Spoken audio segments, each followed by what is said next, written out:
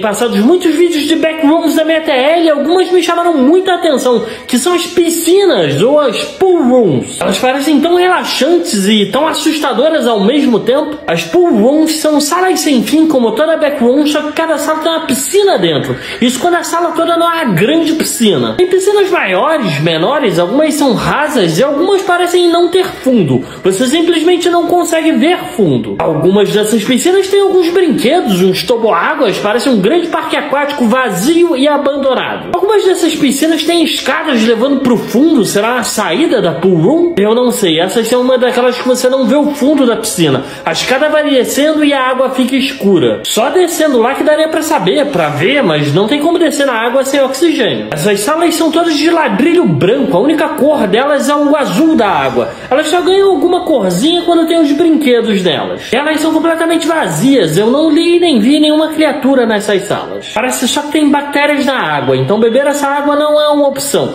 São salas que não tem nem comida e nem bebida. Ainda assim, elas parecem completamente relaxantes com o barulhinho da água. Algumas pessoas dizem se sentir num sonho dentro delas. E ao mesmo tempo, elas são completamente assustadoras, como um lugar vazio, abandonado, sem saída e sem fim. Você entraria dentro da pool room, hipnotizados pelo brinquedo e pela água, mesmo sabendo que poderia nunca sair de lá? Querem que eu comente mais sobre outras backrooms? Comenta aí, me dá um like porque eu tô flopado!